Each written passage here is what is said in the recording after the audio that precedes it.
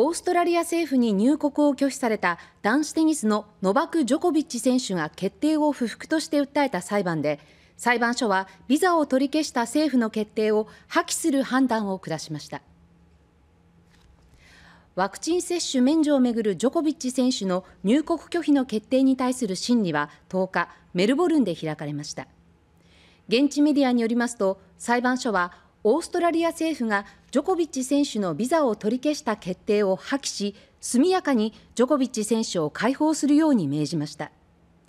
ジョコビッチ選手はワクチン接種免除に関して書類の不備を理由に入国を拒否され難民などの臨時収容施設として使われているホテルで待機していました。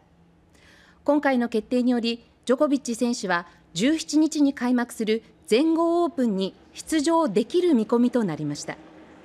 一方現地メディアは政府側の弁護士の話として移民・市民権大臣が再びジョコビッチ選手のビザを取り消すことを検討する可能性があると伝えています。